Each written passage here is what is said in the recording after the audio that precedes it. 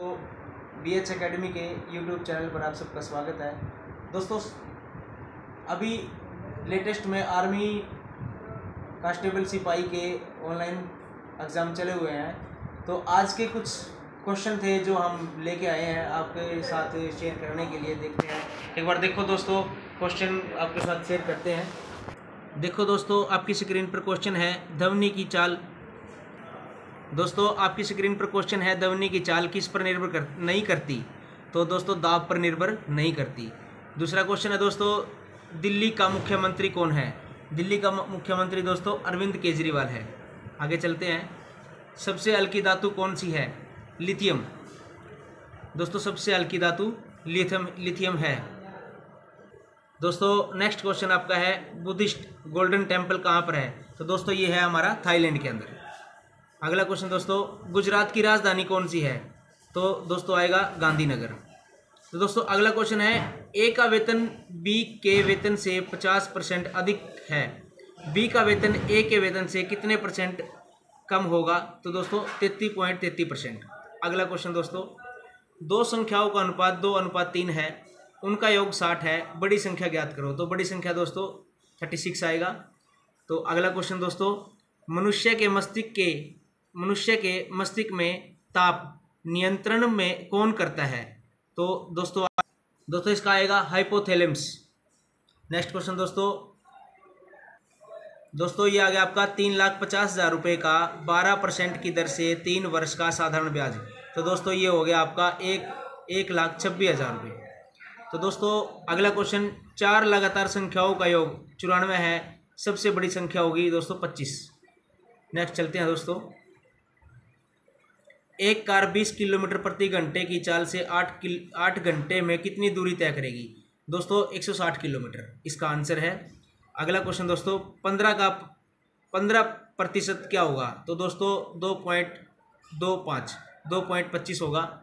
अगला क्वेश्चन दोस्तों, समकोण त्रिभुज का एक कोण डिग्री का होता है, तीसरा कोण कितने डिग्री का होगा? तो दोस्तों, तिरपन इसका आंसर आएगा। दोस्तों, अगला क्वेश्चन, चार आदमी किसी काम को पाँच दिन में करते हैं, कितने आदमी उसे दो दिन में करेंगे? तो आंसर आएगा दोस्तों, दस दिन। अगला क्वेश्चन दोस्तों, अर्धवृत्त के बने कोण का मान कितना होगा? तो ये होता है दोस्तों नब्बे। अगला क्वेश्चन दोस्तों, बुस्टन की चाय पार्टी की घटना कब हुई? तो दोस्तों ये हुई है सोलह दिसंबर सत्रह सौ तिहत्तर के अंदर। अगला क्वेश्चन दोस्तों, भारत की पहली तेल रिफाइनरी कौन सी है? तो दोस्तों है ये डिगबोई। अगला क्वेश्चन दोस्तों पित्तरस का निर्माण कहाँ पर होता है? ये होता है दोस्तों यकृत के अंदर। अगला क्वेश्चन दोस्तों, एक बटा पाँच को प्रतिशत में बनाए तो ये होगा बीस प्रतिशत। अगला क्वेश्चन दोस्तों, वायुमंडल में नाइट्रोजन कितने प्रतिशत है? तो ये है दोस्तों अठहत्तर प्रतिशत। आगे चलते हैं। एकांत शिंदे का संबंध। एकांत शिंदे दोस्तों महाराष्ट्र का मुख्यमंत्री है। अगला क्वेश्चन दोस्तों, निम्न में से अजैविक घटक कौन सा है? तो ये ऑप्शन पे डिपेंड करेगा, लेकिन इसका आंसर मिट्टी आएगा दोस्तों। आगे चलते हैं। बर्फ़ का पानी बनना कैसा परिवर्तन है? ये है दोस्तों भौतिक परिवर्तन। सिंधु नदी का उद्गम स्थल कौन सा है? तिब्बत में स्थिर मानसवर झील है दोस्तों। आगे चलते हैं। तेरह हज़ार चार सौ पचास को ए बी सी में तीन अनुपात पाँच, अनुपात दो के अनुपात में बांटे। ए का भाग क्या होगा? दोस्तों, अगर इसको हम क्वेश्चन को हल करेंगे तो इसका उत्तर आएगा चार हज़ार पैंतीस। अगला क्वेश्चन दोस्तों, भारत की सबसे लंबी नदी कौन सी है? ये है दोस्तों गंगा नदी। बिल्कुल आसान क्वेश्चन है दोस्तों। अगला क्वेश्चन देखते हैं। पेंसिलिन की खोज किसने की? अलेक्जेंडर फ्लेमिंग ने की थी दोस्तों। अगला क्वेश्चन दोस्तों, बीस हज़ार से ज़्यादा की आवृत्ति कौन सुन सकता है? तो दोस्तों, कुत्ता और चमगादड़, जिसका ये है, ये ठीक है दोस्तों। आगे दोस्तों 2023 में गुजरात की पहली महिला न्यायाधीश कौन बनी? सोनिया बनी दोस्तों, सोनिया गोकानी। अगला क्वेश्चन दोस्तों, वृक्ष को जलाकर उगाए गए पौधों को क्या कहते हैं? दोस्तों, अगला क्वेश्चन है छत्तीस डिग्री का पूरक कोण क्या होगा? चौवन। दोस्तों, चौवन प्रतिशत का को भी में बदले तो आएगा सत्ताईस बटे पचास। आगे चलते हैं दोस्तों। यदि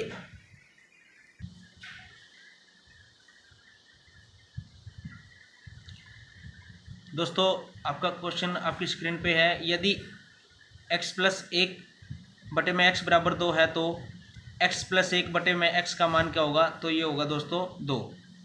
आगे चलते हैं। भारत की पहली बार जनगणना कब हुई थी? दोस्तों, ये हुई थी अठारह सौ बहत्तर में। अगला क्वेश्चन दोस्तों, राष्ट्रपति बनने के लिए न्यूनतम आयु कितनी होनी चाहिए? ये होनी चाहिए दोस्तों, पैंतीस वर्ष। आगे चलते हैं दोस्तों। भारत की पहली बार जनगणना कब हुई थी? अठारह सौ बहत्तर। ये रिपीट हो चुका है दोस्तों। सॉरी आगे चलते हैं। बिहार का राज्यपाल कौन है? आर वी अलेकर दोस्तों। विश्व का सबसे बड़ा महाद्वीप कौन सा है? यह है एशिया दोस्तों। 2010 में फुटबॉल विश्व कप जीत किसने जीता। ये जीता दोस्तों स्पेन ने। तो दोस्तों, ये कुछ क्वेश्चन थे जो आपके साथ हमने शेयर किए हैं। ये अभी अभी लेटेस्ट एग्ज़ाम में आए हैं। तो दोस्तों, आशा करता हूँ वीडियो अच्छी लगी होगी। दोस्तों शेयर और सभी इस वीडियो को शेयर करें कमेंट करें। अगर किसी को कोई डाउट हो तो कमेंट करें दोस्तों और ज़्यादा से ज़्यादा सब्सक्राइब करें। थैंक यू दोस्तों।